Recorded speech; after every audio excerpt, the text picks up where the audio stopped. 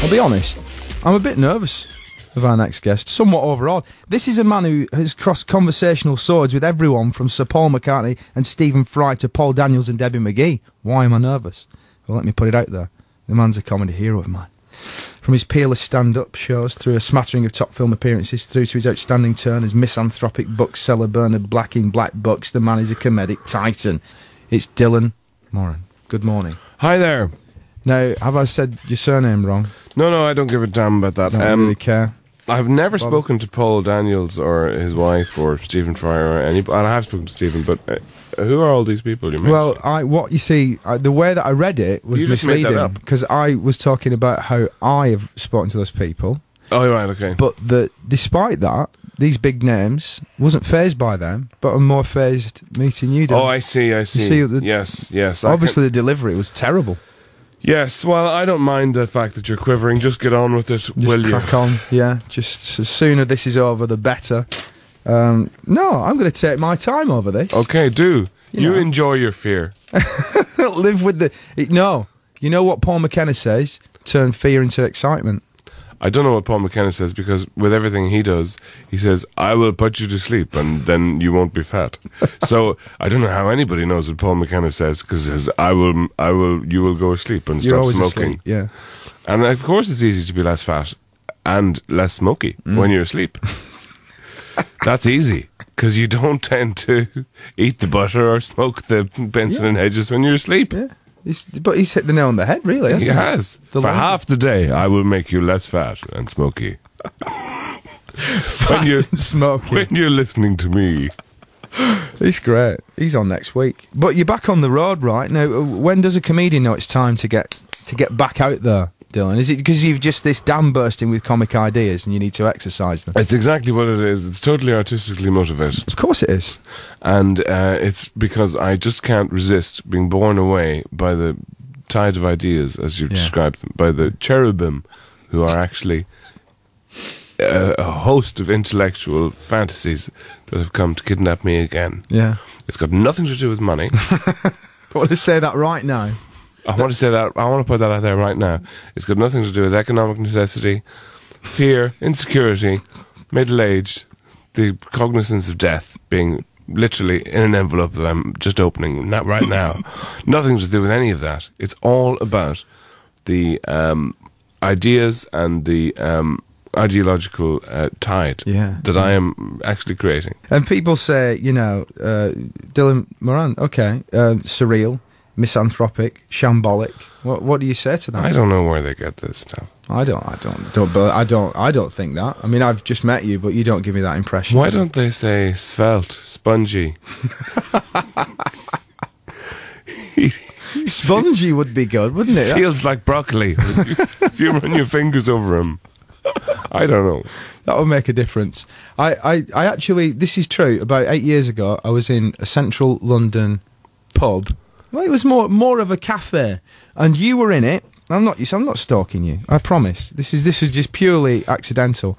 And you were sitting a couple of uh, seats in front of me, and what unfolded was it, it was almost as though it would it could easily have been a moment from Black Books. You seemed confused by your mobile phone. You ran outside in a panic. You ran back in. Um, you were you were again confused by the mobile phone, and and it, it just it, it seemed as though I was watching, uh, you know, some uh, uh, almost a written episode. Would you say how much of, of your your own personality is in something like Bernard in Black Books? Oh yeah, there's a bit in there, you know, uh, not not not not the whole job lot, uh, uh, because Bernard is a sociopath. So I would be in jail or dead if I was Bernard Black, but um, or both. But yeah, the mobile phone probably confused me. It probably rang or did something Yeah. obnoxious like that. You know, that's the thing with these devices; you can't trust them. No, I know, I know. And for people of our age, they they are.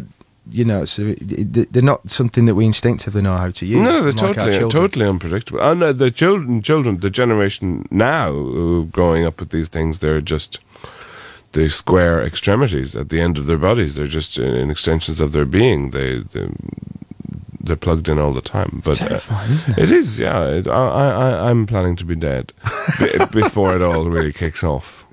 But it's true because you do some lovely stuff and have done historically through your stand-up about about kids and, and about your you know the sort of relationship between adults and children. And like one of my favourite things that I've heard anybody say is the way you describe toddlers as kind of like when you've got a toddler, it's a bit like being with a very small drunk person. And the parallels there are very sim. They're, they're real strong parallels, aren't they? Children are, if you have children in your life, they're huge. You have to talk about them because you Mm. do talk about them. You, you, you, all, all, you think about them all the time. They're a huge influence. They're your sun and moon, really. Mm. So, um, I mean, I, uh, uh, children. To be fair, children are, are much better than than, than midget drunks. They they're, they're better than most adults Yeah, yeah, it's true. in, in terms of uh, conversation, just because of what they will elect as a topic. Yeah, it's incredible the stuff that they come out with, and, and as you say, if you've got any kind of comedic aspect to your mind, you can't help but have it tickled all the Well, time. you just have to be not even that. We just have to be alive. Just have to be listening to these Mm. Yeah. people. It's extraordinary the the the way they segue from one Yeah. thing to another. So my lunch, what I had for my lunch, and there was a pudding or there wasn't a pudding, and then um, how big a spider would you be if you could be a spider? you can't see that coming, but you It's have to field. respect it. Like uh, just last week, I think it was Arthur, my eldest, lifted up his shirt, shirt and said, "Daddy, where are my nipples?" like he thought he'd lost them. Who has couldn't really been in that them. position? Yeah, yeah. We have all felt like that at one time or another. Sometimes several times during the same day. I mean, obviously, the the yeah yeah the tour starts sort of imminently, and is uh, is is are you, are you looking forward to? Yes, I am. I am. I have to because uh, because it's happening. So if I don't look forward to it, it'll be like this morning when I was late. Um, uh, yeah, I am. I am. Uh, it's been uh, uh, whatever it is, a year and a half or so uh, since I was on. So you know, some people go out there and they work the clubs all the time Yeah. to to work their show in. Keep the chops up. yeah, and I don't. I I, I sit in in a room. Save it all. I, I do. I sit in a room and write it, and then I go out. But also, you've got a you've got a captive audience. The people are buying tickets; they want to come and see you. So they're, they're hardly going to be throwing bottles of pee at you, are they? No, they're not going to be throwing bottled pee. They, maybe loose pee, but um, uh, yeah, the, the people people come, and I'm very, I'm very, I'm always, uh, I'm always uh, uh, deeply um, moved by Yeah. that fact. Well, um, I mean, I hate to uh, hit you with this information just before you're about to go on the road yourself, but um, you do have direct competition. I, um, I've done a stand-up gig. I How did uh, that go? Pretty well, didn't it, Lisa? You know, it's pretty. I wouldn't say I wouldn't use the word awesome because it's not for me to use the word awesome. It's for your mother. It's for my mum to say that. But you know, any, any advice for nascent comics coming up like myself? Who Well, what did you nip at the find when you, if you did a gig? Then you, you, what, what was the experience like? Were It you- was. I've done one or two before, just because, because I've been forced to, and uh, I, I've quite enjoyed it. I must admit, it's quite a thrill, isn't it? It's It is, like being yeah. on a being on a fast horse. Yeah, it is, and it's. I tell you, what's very thrilling is to do a bad one. Oh, I bet. Oh, I can't imagine how horrible that is. Though. That's very thrilling. Uh, it's been a while. It's been a, a lot, a lot of years. But um, when you're learning, um, you should do a few more because then Do you you'll, feel that you really have to have you'll get that? to do a bad one. Oh, you Yeah. have to do a bad one where everybody hates you, Where, uh, where- where- and everything you say makes it worse, including the words like the and and and hello.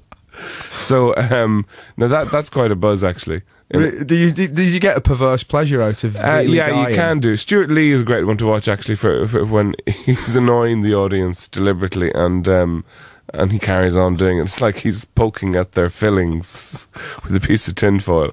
Um, That takes some balls to do that. Really. yeah, it is. Yeah, but but uh, it is obviously it's a, it's an adrenaline charge, Mm. uh, whatever way it goes. Even if they set you on fire. Yeah, yeah. One way or another, that's adrenaline, isn't yes, it? Yeah. exactly. Um, oh, I can always make myself available to, uh, you know, for warm ups. Well, thank you very much. No problem at all. Um, and just my a last question: When might we see you uh, on celluloid again? You know, uh, Yeah, I don't know. Um, I don't know. I, I don't know. I'm. Uh, no plans. No, I mean when when the Jane Austen people ring up and ask me will I be so and so's mum, that'll be the next time. I want a bonnet. I'm not doing it unless there's a bonnet. I will be. Uh, so Dylan will be performing as Emma's mother uh, in the new screen adaptation of Emma Yes. on BBC One in the autumn. We simply can't wait.